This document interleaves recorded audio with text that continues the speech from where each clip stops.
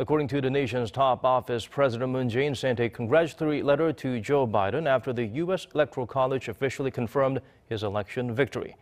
The South Korean leader expressed hope they could work together to achieve lasting peace and denuclearization on the peninsula, as well as further strengthen the Seoul-Washington alliance.